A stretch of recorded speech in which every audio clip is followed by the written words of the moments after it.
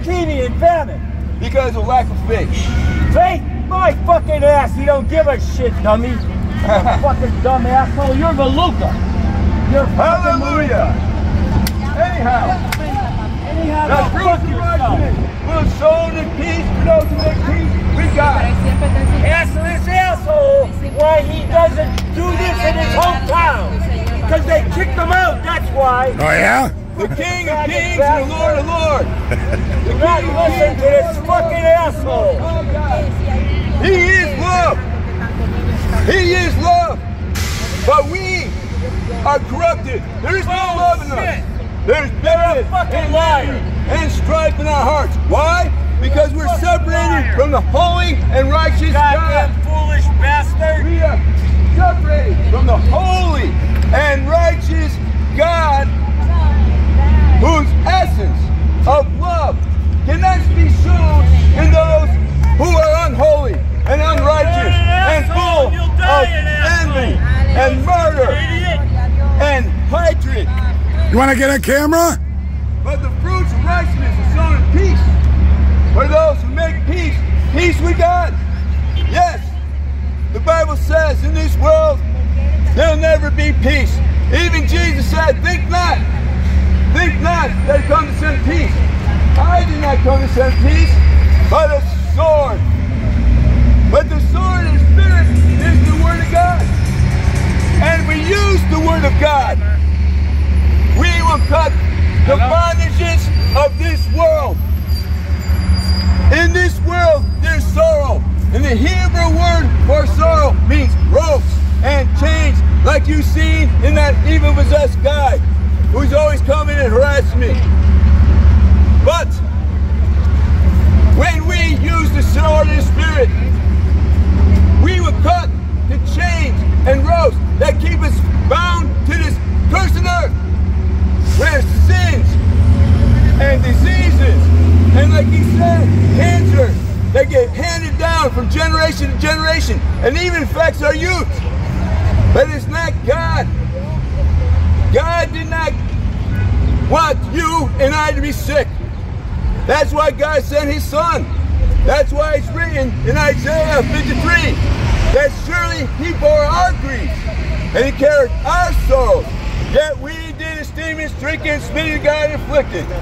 But he was wounded for our transgressions. He was bruised for our iniquities. The chastisement of peace upon him, and by his stripes we are healed. And when Jesus walked the earth, they said, according to Matthew 8, 16 and 17, when evening has come, they brought to him many that were possessed with the devil.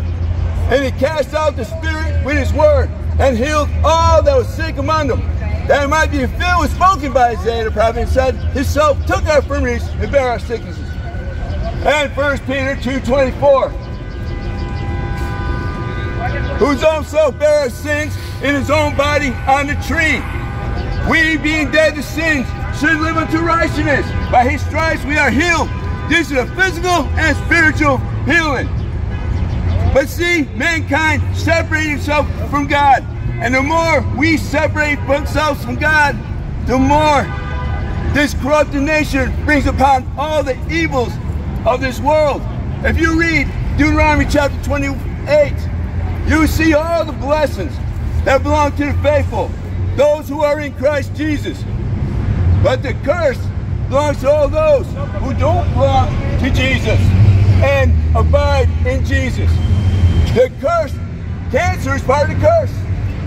That's why, as much as it hurts the Lord, as much as it hurts God, as much as it hurts me and you, why kids can get sick.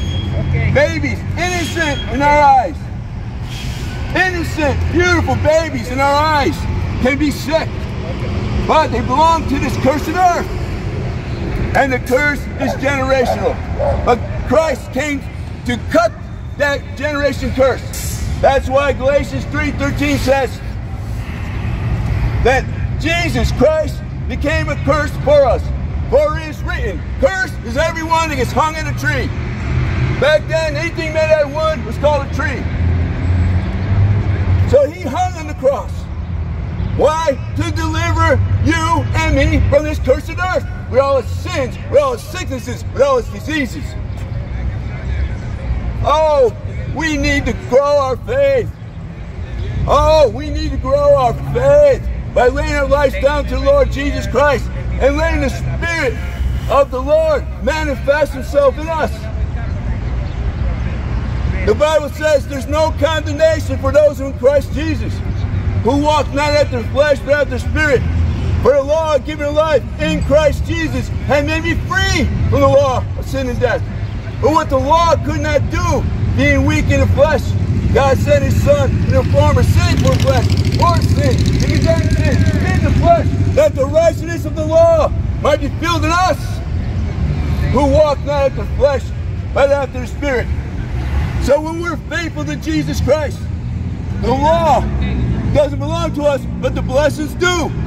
He's calling unto us to be faithful to He who knew no sin, who died for us, who was faithful all the way to death.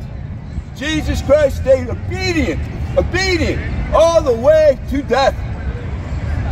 He stayed obedient, faithful to his calling. And his calling was to die for you and me so we can live in harmony with our Creator, with our Lord, with our God, so we can be reconciled back to God. That's why Jesus came. That's why Jesus came. So we can be reconciled and separated. That means sanctified from this cursed earth with all its sins, diseases, poverty, hatred, bitterness, sicknesses like cancer. But it doesn't belong to me. The Lord healed me. I've been healed. I should not be with you now. But one day a spirit came through from head to toe. And what should have killed me 25 years ago, I'm still speaking the word today. And it was the word that most religious people say, you see, Paul asked three times, Paul asked three times that he'll take that you take that thorn. Lord, take this thorn. But then the Lord said, My grace is sufficient for you. In weakness you are made strong. That was the, the that was the scripture that the Lord gave me when I got my healing. Because I understood. I had to walk through the pain and trust that God will carry me and deliver me and set me free from the curse of the earth. And that's what Paul did. So all you religious people say, hey, see? Paul asked three times. And the Lord spoke to him and says, My grace is sufficient for you. In weakness you are made strong. But then five, six scriptures later, he says to the Corinthian church, I'm ready to come back to you again. He was healed when he walked upright. And he let the Lord grace carry him. Like I had to do when I got my healing. So healing belongs to everyone. Healing belongs to you, belongs to me. What we have to do to receive it is to trust in the Word of God. The Word that was manifested in flesh. And we beheld His glory. The glory of the only begotten Father. Full of grace, full of truth. The Word is Jesus Christ. He's the one that was manifested in the flesh. He's the one who died for you and I, for our sins to be forgiven, our transgressions to be taken, our rebellious nature to be turned. Repentance means we turn 180 degrees. We were found the world with all its sicknesses, with all its oppressions, with all its diseases, with all its fears, with all its worries.